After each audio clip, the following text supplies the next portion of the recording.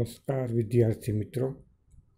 આ વિડિયો લેક્ચરમાં આપણે ઉષ્મા એન્જિન અને હીટ પંપનો અભ્યાસ કરીશું. ઉષ્મા એન્જિન એટલે સામાન્ય રીતે ઇન્ટરનલ કમ્બસ્ટન એન્જિન આંતરદહન ઉષ્મા એન્જિનની આપણે ચર્ચા કરવાના છીએ. એટલે કે તમે જે કંઈ પણ મોપેડ બાઇક કારની અંદર જે એન્જિન આવે છે, એ આંતરદહન ઉષ્મા એન્જિન કહેવાય. તો એ કઈ રીતે કાર્ય કરે? એની આપણે ચર્ચા કરવાની છે.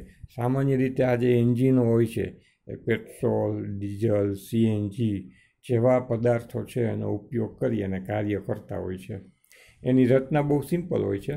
એક સિલિન્ડર હોય, સિલિન્ડરની અંદર પિસ્ટન હોય અને સિલિન્ડર પિસ્ટનની વચ્ચે આ કાર્યકારી પદાર્થ હોય. પછી પેટ્રોલ, ડીઝલ સીએનજી, એલપીજી એનું વાતાવરણનો જે વાયુ છે એની સાથે મિશ્રણ કરી અને એને સળગાવવામાં આવે છે.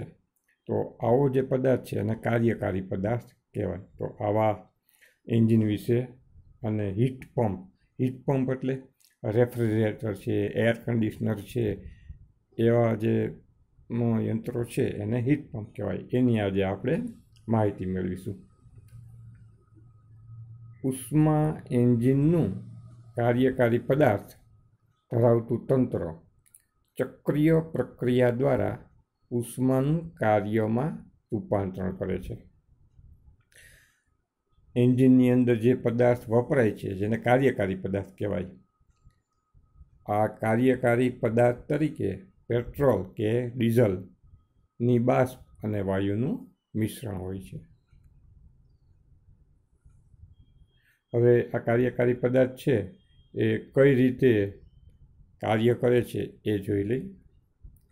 કાર્યકારી પદાર્થ ઊંચા તાપમાન ટી વન પર રહેલા પરિસરમાંથી ક્યુ વન જેટલી ઉષ્માનું શોષણ કરે છે. તેના દ્વારા કાર્ય ડબલ્યુ થાય છે. અને બાકી રહેલ ઉષ્મા ક્યુ ટુ, એટલે ક્યુ વન જેટલી ઉષ્માનું શોષણ કર્યું. એ ઉષ્મામાંથી થોડી ઘણી ઉષ્માનું એણે કાર્યમાં રૂપાંતર કર્યું. એનો મતલબ થોડીક ઉષ્મા બાકી રહી. આ બાકી રહેલી ઉષ્મા જે એટલે ક્યુ ટુ આ ઉષ્મા ક્યુ ટુ નીચા તાપમાન ટી એ રહેલા પરિસરમાં મુક્ત કરે છે. હવે આ કાર્યવાહી આપણે જો ડાયાગ્રામ દોરીને એટલે કે આકૃતિ દોરીને સમજીએ તો હજી વધારે ક્લિયર થાય. તો આ એના માટેની આકૃતિ છે. આ ઉષ્મા એન્જિન છે. આની અંદર કાર્યકારી પદાર્થ હોય. અને આ એની આજુબાજુના પરિસર છે. એટલે સૌપ્રથમ ઉષ્મા એન્જિન શું કરે? તો કે ગરમ પરિસર હોય ટી વન તાપમાન ધરાવતું, એમાંથી એ ઉષ્માનું શોષણ કરે. આ ઉષ્માનું શોષણ કરે, પછી એ ઉષ્મામાંથી થોડી ઘણી ઉષ્માનું એ કાર્યમાં રૂપાંતરણ કરે. પિસ્ટન છે, એના દ્વારા બાર જે વ્હીલ હોય ત્યાં કાર્ય ટ્રાન્સફર કરવામાં આવે. એટલે ક્યુ વનમાંથી બધે બધી ઉષ્માનું ડબલ્યુમાં રૂપાંતર નથી થતું. થોડી ઘણી ઉષ્માનું કાર્યમાં રૂપાંતર થયું. થોડી ઘણી બાકી રહી. એ બાકી રહી ક્યુ ટુ આ ક્યુ ટુ જેટલી ઉષ્મા જે બાકી રહી એ બહાર ઠંડુ પરિસર હોય, એમાં છોડી દેવામાં આવે. આ રીતે ઉષ્મા એન્જિન છે એ કાર્ય કરતા હોય છે. ઉષ્મા એન્જિનની વ્યવસ્થાનું નિદર્શન આકૃતિ દ્વારા કરવામાં આવ્યું છે. ટી વન તાપમાને રહેલા પરિસરમાંથી એન્જિન ક્યુ વન ઉષ્મા મેળવે છે. એટલે આ ક્યુ જેટલી ઉષ્મા મેળવી. પછી ટી ટુ તાપમાને રહેલા ઠંડા પરિસરમાં ક્યુ ટુ ઉષ્મા મુક્ત કરે છે. એટલે કે ક્યુ ટુ જેટલી ઉષ્મા છે એ ઠંડા પરિસરમાં મુક્ત કરી દીધી. અને બહારના વિસ્તારમાં કાર્ય ડબલ્યુ પહોંચાડે છે. એટલે ક્યુ વન ઉષ્માનું શોષણ કરી અને ક્યુ ટુ છે એ પાછી વાતાવરણમાં મુક્ત કરી, બેના તફાવત જેટલું જે ઊર્જા છે, એનું એ કાર્યમાં રૂપાંતર કરી અને બહાર મોકલે. આ રીતે ઉષ્મા એન્જિન કાર્ય કરતા હોય છે.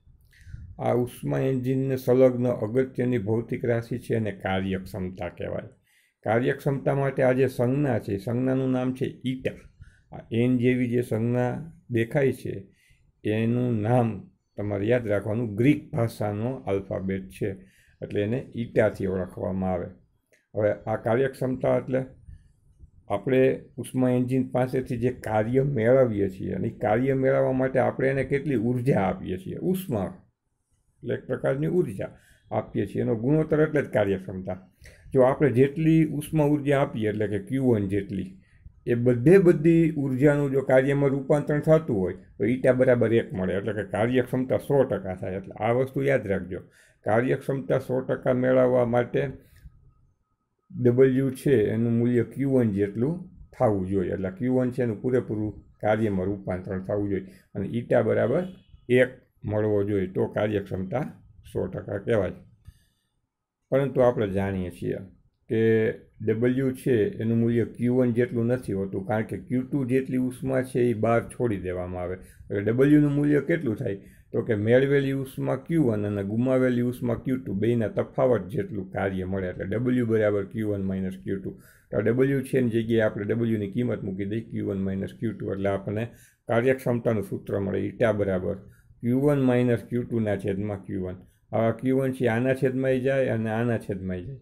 તો કે ક્યુ વનના છેદમાં ક્યુ વન એટલે એક માઇનસ ક્યુ ટુના છેદમાં ક્યુ વન તો આ આપણને ઉષ્મા એન્જિનનું કાર્યક્ષમતાનું સૂત્ર મળ્યું. આ કાર્યક્ષમતા સો ટકા મેળવવા માટે ઈટાનું મૂલ્ય એક થવું જોઈએ અને ઈટાનું મૂલ્ય એક થવા માટે ક્યુ મૂલ્ય છે એ શૂન્ય થવું જોઈએ. એટલે વાતાવરણમાં પાછી અપાતી ઉષ્મા છે એ શૂન્ય હોય તો જ કાર્યક્ષમતા સો ટકા મળે, પણ એવું શક્ય બનતું નથી. એ હવે આપણે જોઈશું.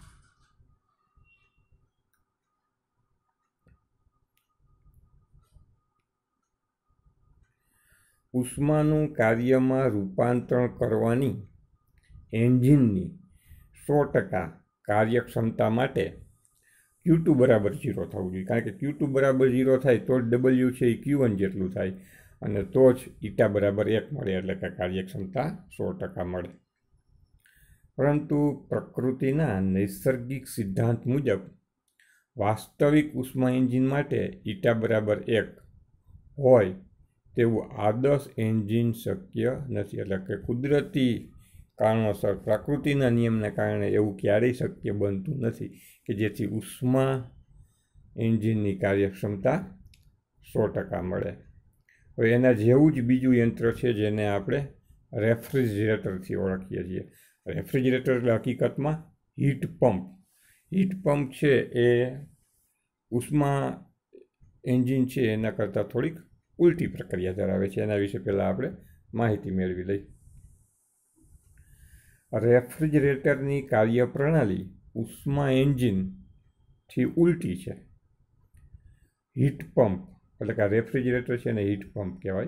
હીટ પંપ એટલે કે રેફ્રિજરેટરમાં કાર્યકારી પદાર્થ કઈ રીતે કાર્ય કરે છે એ સમજાયું છે.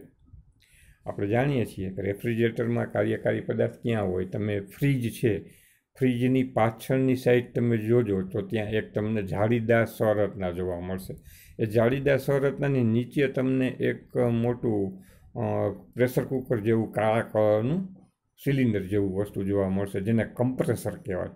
આ કમ્પ્રેસરની અંદર જે વાયુ ભરેલો હોય, એનું ઊંચા દબાણેથી નીચા દબાણે તત્કાલ પ્રસરણ કરાવીને ઠંડક ઉત્પન્ન કરવામાં આવે છે. આ સિદ્ધાંત છે એ બહુ સિમ્પલ છે, તમને ખ્યાલ ન હોય કદાચ કે ફ્રીજની અંદર ઠંડક કઈ રીતે થાય. તો કે હાઉ સિમ્પલ સિદ્ધાંત તમને સમજાવું. ગરમ ચા હોય એને ઠંડો કરવા માટે આપણે શું કરીએ છીએ? ફૂંક મારીએ છીએ. હવે ફૂંક મારીએ છીએ ને ત્યારે તમે ધ્યાનથી અવલોકન કરો. તો આપણે ફૂંકનો જે પ્રવાહ હોય છે, એનો આછેદ છે એ નાનો રાખીએ છીએ. એટલે શું કરીએ છીએ કે ગલોફાની અંદર જે મોટા પ્રમાણમાં વાયુ ભર્યો હોય, દબાણ એને પુષ્કળ દબાણે લઈ આવી અને જોશથી આપણે મોંની બહાર કાઢીએ. એટલે વાતાવરણના દબાણે આવે મીન્સ શું થયું? કે દબાણ ઘટી ગયું. દબાણ ઘટવાથી એ ઠંડો થાય અને ફૂંક છે એ ઠંડી હોય તો ચાને ઠંડુ કરે અથવા બીજું તમને હું કહું કે સાયકલમાં કે મોટરસાયકલમાં ટાયરમાં જે હવા ભરી હોય, એ ઊંચા દબાણે આપણે ભરતા હોય, પંપ વડે, બરાબર? પછી જ્યારે એને આ મુક્ત કરી પ્રયોગિક ખાતર, એક્સપેરિમેન્ટ માટે આપણે એને મુક્ત કરીએ તો એ એનો જે વાલ ગોલો હોય એ કાઢી નાખીએ. તો ત્યાંથી જે બહાર નીકળશે એ હવા ટાયરમાં વધારે દબાણે ભરી છે, પણ વાતાવરણ દબાણ ઓછું હોય. એટલે વધારે દબાણથી ઓછા દબાણમાં એનું વિસ્તરણ થવાથી એ ઠંડક ઉત્પન્ન કરે. તો રેફ્રિજરેટરમાં પણ આ સિદ્ધાંત અનુસાર ઠંડક ઉત્પન્ન કરવામાં આવે છે. હવે કઈ રીતે કાર્યકારી પદાર્થ કાર્ય કરે છે એ જરાક સમજી લઈ તો કે ટી ટુ તાપમાને રહેલા પરિસરમાંથી ક્યુ ટુ ઉષ્મા મેળવે છે. તેના પર થોડુંક કાર્ય, એટલે કે ડબલ્યુ કરવામાં આવે છે અને ટી વન તાપમાને રહેલા પરિસરમાં ક્યુ ટુ ઉષ્મા મુક્ત કરે છે. તમે જોજો ફ્રીજ ચાલુ હોય ને, ત્યારે ફ્રીજની પાછળની સાઈડથી અથવા તો જે બાજુ જાળીદાર રચના હોય, ત્યાં તમને ગરમી બહાર આવતી હોય ને એવું લાગશે. કારણ કે અંદર છે એ ઠંડક ઉત્પન્ન કરે. ત્યાંથી એ ઉષ્માનું શોષણ કરે છે. એ શોષણ કરેલી ઉષ્મા છે એ ક્યુ વન અને જે મુક એ ક્યુ વન આવશે. અહીંયા ભૂલથી ટુ લખાઈ ગયું છે. અને જે ઉષ્મા મુક્ત કરે છે એ ક્યુ ટુ અને આ ઉષ્માનું શોષણ કરવા માટે આપણે એને ઇલેક્ટ્રિક સપ્લાય આપીએ છીએ. એટલે કે ઇલેક્ટ્રિસિટી દ્વારા કાર્ય કરીએ છીએ. અને જે કાર્ય કરીએ છીએ એ ડબલ્યુ કઈ રીતે આખી કાર્યવાહી થાય છે એ જો આપણે આકૃતિની મદદથી સમજીએ, તો આપણને થોડુંક સરળ પડે. આ આપણો હીટ પંપ અથવા તો રેફ્રિજરેટર છે. મૂળ વસ્તુ છે ઠંડક ઉત્પન્ન કરી એટલે જે પરિસર છે, એને ઠંડુ આપણે જાળવી રાખવાનું થાય. ટી તાપમાન છે, એ નીચું તાપમાન છે. તો એ ક્યારે ઠંડુ જળવાઈ રહી? એમાંથી આપણે ક્યુ જેટલી ઉષ્મા શોષી લઈ, સતત શોષી રાખી. તો આ જે પરિસર છે એ ઠંડુ થાય. એ હીટ પંપનું મુખ્ય કાર્ય છે અથવા રેફ્રિજરેટરનું કાર્ય છે. હવે આ ક્યુ ટુ જેટલી ઉષ્મા શોષાઈ જાય એટલા માટે આપણે એમાં કાંઈક કાર્ય કરવું પડે. લાઇટ વહી જાય તો ફ્રીજ ચાલુ ન રહે. ટૂંકમાં કાર્ય ન કરો તો આ ઠંડક ઉત્પન્ન થતી નથી. એટલે કાર્ય કરવું ફરજિયાત છે. એ કાર્ય કરો, એટલે ઇલેક્ટ્રિસિટી આપો તો એનો મતલબ આપણે એને ઊર્જા આપી કહેવાય. કેટલી ઊર્જા આપી કહેવાય? ડબલ્યુ જેટલી ઊર્જા આપી કહેવાય. અહીંયા બે ઊર્જા ભેગી થઈ. આ ડબલ્યુ જેટલી અને આ ક્યુ ટુ જેટલી. એ બે ભેગી થાય એટલે ટોટલ ક્યુ વન થાય. એટલે યાદ રાખજો ક્યુ વન બરાબર ડબલ્યુ પ્લસ ક્યુ ટુ જો અહીંયા ક્યુ વન છે એને સૂત્રનો કરતા બનાવો. તો આ માઇનસ ક્યુ ટુ છે આ બાજુ જાય. તો ડબલ્યુ અને ક્યુ ટુનો સરવાળો થાય ત્યારે આપણને ક્યુ વન જેટલી ઊર્જા મળે. એટલે આ જે મુક્ત કરીએ છીએ ને, ઈ ક્યુ વન આવશે. પરિસરમાં આપણે ક્યુ વન જેટલી ઉષ્મા છે એ મુક્ત કરવાની હોય. ભૂલથી અહીંયા વન લખવાનું રહી ગયું છે. મિસ્ટેકથી ટુ લખવાનું છે. એટલે તમે અહીંયા વન કરી નાખજો. એટલે આમ ક્યુ વન જેટલી ઉષ્મા છે એ ટી વન તાપમાન ધરાવતા ટૂંકમાં બહારનું જે વાતાવરણ છે એમાં છોડી દેવામાં આવે. આ રીતે હીટ પંપ કાર્ય કરે. કે ક્યુ ટુ જેટલી ઉષ્મા ઠંડા પરિસરમાંથી શોષી લે, એના ઉપર થોડુંક કાર્ય કરે અને ટોટલ જે ઉષ્મા છે ક્યુ વન એ પરિસરમાં મુક્ત કરે. આમ હીટ પંપની કાર્યપ્રણાલી છે એ રેપ આપણે હીટ એન્જિન ઉષ્મા યંત્રથી ઉલટી છે. એટલે એના માટે જે ગણતરી કરવાની છે કાર્યક્ષમતાની, એ કાર્યક્ષમતા નથી. એના માટે જે નવી ભૌતિક રાશિ છે એને પરફોર્મન્સ ગુણાંક કહેવાય અને એની સંજ્ઞા છે આલ્ફા. જેમ હીટ એન્જિનની અંદર કાર્યક્ષમતા આવે, એમ હીટ પંપની અંદર પરફોર્મન્સ ગુણાંક આવે, જેને આલ્ફા કહી. તો એ આલ્ફા શું છે? તો કે મૂળ વસ્તુ હીટ પંપ દ્વારા આપણે શું કરવું છે? ઠંડક ઉત્પન્ન કરવી છે, એટલે કે ઉષ્માનું શોષણ કરવું છે. આ શોષણ કરેલી ઉષ્મા એટલે ક્યુ ટુ હવે આ ક્યુ ટુ જેટલી ઉષ્માનું શોષણ કરવા માટે આપણે કાર્ય ડબલ્યુ કરવું પડે છે. તો એ બેનો ગુણોત્તર કે ભાઈ ડબલ્યુ જેટલું કાર્ય કરવાથી કેટલી ઉષ્મા છે એ શોષણ કરી શકાય. એનો જે ગુણોત્તર છે એ જ પરફોર્મન્સ ગુણાંક. હવે આ ક્યુ ટુ છે એ ડબલ્યુ જેટલા કાર્યને કારણે શોષી શકાય છે. તો ડબલ્યુનું સૂત્ર આપણે અગાઉ જે જોયું હતું એ જ Q one minus Q two એ ડબલ્યુ છે, એની કિંમત આપણે અહીં મૂકી દઈ ડબલ્યુ બરાબર Q one minus Q two એ ક્યુ ટુની ડબલ્યુની જગ્યાએ મૂકી દઈ તો આલ્ફા બરાબર ક્યુ ટુના છેદમાં ડબલ્યુની જગ્યાએ આ પદ આવી જશે Q one minus Q two તો આ પરફોર્મન્સ ગુણાંક છે. આલ્ફા એનું સૂત્ર મળે છે, આપણને ક્યુ ટુના છેદમાં Q one minus Q two હવે આગળ આપણે ચર્ચા કરી રીતે હીટ એન્જિન છે, એની કાર્યક્ષમતા છે એ સો ટકા ન હોય. એનો મતલબ ઈટા બરાબર એક ન હોય. તો આ આલ્ફા છે એનું મૂલ્ય એક હોઈ શકે? તો કે એક તો હોઈ શકે, પણ એક કરતાં વધારે પણ હોઈ શકે. કારણ કે ડબલ્યુ છે, એનું મૂલ્ય ક્યુ ટુ કરતાં ઓછું હોય તો એવું શક્ય છે અને એને કારણે આલ્ફાનું મૂલ્ય એક કે એથી વધુ હોઈ શકે. પણ ક્યારેય આલ્ફાનું મૂલ્ય અનંત ન થાય. શા માટે અનંત ન થાય એમ તમને કારણ કહું? કે આલ્ફાને જો આપણે અનંત કરવો હોય તો ડબલ્યુનું મૂલ્ય ઝીરો કરવું પડે. ડબલ્યુ ઝીરો કરો તો કોઈના છેદમાં ઝીરો હોય તો એ પદ અનંત થઈ જાય. હવે ડબલ્યુનું મૂલ્ય ઝીરો કરો, એનો મતલબ શું થયો? એનો મતલબ એમ થયો કે કોઈ પણ પ્રકારનું કાર્ય કર્યા વગર આપણે ક્યુ ટુ ઉષ્માનું શોષણ કરવાનું થાય એટલે કહેવાનો મતલબ એમ છે કે ફ્રીજને આપણે લાઇટ બંધ કરી, કાર્ય કર્યા વગર જો ઠંડુ કરી શકતા હોય, તો એ શક્ય કહેવાય કે કાર્ય કર્યા વગર આપણે ક્યુ જેટલી ઉષ્માનું શોષણ કરીએ. પણ એવું કોઈ દિવસ શક્ય બને નહીં. કાર્ય તો કરવું જ પડે. લાઇટ ચાલુ કરવી જ પડે. સ્વિચ ચાલુ કરવી જ પડે. અને એને કારણે ડબલ્યુ ઝીરો નહીં હોવાથી આલ્ફા ક્યારેય અનંત બનતો નથી. આ વસ્તુ યાદ રાખવાની.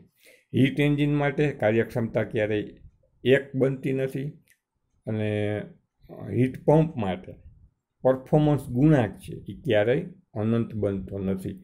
અને આ જે હકીકત છે એના ઉપરથી થર્મોડાયનેમિક્સનો બીજો નિયમ તારવવામાં આવે છે. એના વિશે આપણે થોડીક માહિતી મેળવી લઈ આપણે અત્યાર સુધીમાં બે નિયમ ભણી ગયા છીએ. સૌથી પહેલો વહેલો હતો, એ થર્મોડાયનેમિક્સનો શૂન્ય ક્રમનો નિયમ હતો. એના પછી બીજું એક આપણે સૂત્ર ભણી ગયા, ડેલ્ટા ક્યુ બરાબર delta U plus P delta V. એ થર્મોડાયનેમિક્સનો પહેલો નિયમ હતો અને આજે જે આપણે અભ્યાસ કરીશું એ થર્મોડાયનેમિક્સનો બીજો નિયમ.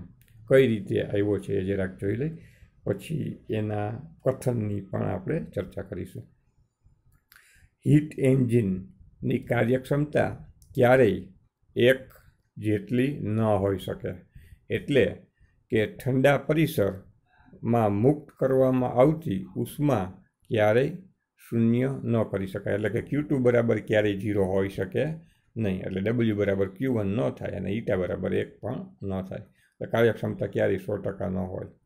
ત્યાર પછી બીજું હીટ પંપ હીટ પંપનો પરફોર્મન્સ ગુણાંક, એટલે કે આલ્ફા ક્યારેય પણ અનંત ન હોઈ શકે, કારણ કે ક્યારેય કાર્ય કર્યા વગર પરિસરને ઠંડુ કરી શકાય નહીં. તો આ થર્મોડાયનેમિક્સનો બીજા નિયમ છે, એના બે કથન છે. બે જુદા જુદા જે વૈજ્ઞાનિકો છે, એના બે અલગ અલગ કથન છે, એ આપણે યાદ રાખવાના છે. સામાન્ય રીતે એવું હોય કે કોઈ નિયમ હોય, તો એના માટે એક નિશ્ચિત કથન હોય. પણ થર્મોડાયનેમિક્સનો બીજો નિયમ એવો નથી કે જે એક જ કથન વડે સમજાવી શકાતો હોય. એના માટે જુદા જુદા કથન છે. આપણે માત્ર થર્મોડાયનેમિક્સના બીજા નિયમના બે જ કથનનો અભ્યાસ કરવાનો છે. એમાંથી એક કથન આપ્યું છે, એ કેલ્વિન પ્લાન્ક, બે વૈજ્ઞાનિકો છે. એકનું નામ કેલ્વિન, બીજાનું નામ પ્લાન્ક. એનું સંયુક્ત રૂપનું કથન છે, એ પહેલાં આપણે જોઈ જઈએ એવી કોઈ પ્રક્રિયા શક્ય નથી કે જેના એકમાત્ર પરિણામ રૂપે ઉષ્મા પ્રાપ્તિ સ્થાનમાંથી ઉષ્માનું શોષણ થઈ પૂરેપૂરી ઉષ્માનું કાર્યમાં રૂપાંતરણ થાય. એટલે આ વિધાન એમ કહે છે કે આપણે પરિસરમાં કાર્ય થયા પછી ઉષ્મા મુક્ત ન કરવી પડે એવું શક્ય નથી. પરિસરમાં કાંઈક ને કાંઈક ઉષ્મા તો મુક્ત કરવી જ પડે. એટલે કે શોષણ કરેલી બધે બધી ઉષ્માનું કાર્યમાં રૂપાંતરણ થાય એવું શક્ય નથી. એ કેલ્વિન અને પ્લાન્ક નામના વૈજ્ઞાનિકે આવું કથન આપ્યું છે. હવે થર્મોડાયનેમિક્સનું બીજું કથન જોઈ જઈ. એ કથન ક્લોસિયસ નામનો વૈજ્ઞાનિક થઈ ગયો છે. એણે આપ્યું છે એટલે એને ક્લોસિયસનું કથન કહેવાય. બે કથન યાદ રાખવાના છે. એવી પ્રક્રિયા શક્ય નથી કે જેના એકમાત્ર પરિણામ રૂપે ઉષ્માનો વિનિમય ઠંડા પદાર્થથી ગરમ પદાર્થ તરફ થાય. એટલે એમ કહેવા માગે છે કે ફ્રીજની અંદર ઠંડક હોય છે અને ફ્રીજની બહાર ગરમ વાતાવરણ હોય છે. તો ઓટોમેટિક ઠંડા પદાર્થમાંથી ઉષ્માનું વહન ગરમ પદાર્થ તરફ થાય, એની મેળે મેળે એવું શક્ય નથી. આપણે એના ઉપર કાર્ય કરવું જ પડે. એટલે આ બે થર્મોડાયનેમિક્સના બીજા નિયમના કથન છે. કેલ્વિન પ્લાન્કનું કથન છે, એ હીટ એન્જિન માટે છે. જ્યારે ક્લોસિયસનું કથન છે, એ હીટ પંપ માટે છે. આના પછી આપણે હવે જે નવો ટોપિક ભણવાના છીએ. એ કાર્નોટ એન્જિન છે. કે વાસ્તવિક તો એવું એન્જિન શક્ય નથી કે જેની કાર્યક્ષમતા આપણે સો ટકા મેળવી શકીએ. પણ કાર્નોટ નામના વૈજ્ઞાનિકે એવું રિસર્ચ કર્યું છે કે આપણે કાર્યક્ષમતા વધારવી હોય, સો ટકાની નજીક લઈ આવવી હોય, તો કેવા પ્રકારની પ્રક્રિયાઓ કરવાથી કાર્યક્ષમતા છે એ બેટર બનાવી શકાય. એનું સૂત્ર છે એ ફરીથી આપણે મેળવવાનું છે. પણ આજનો જે આપણું લેક્ચર છે એ અહીંયા આપણે પૂરું કરીએ છીએ.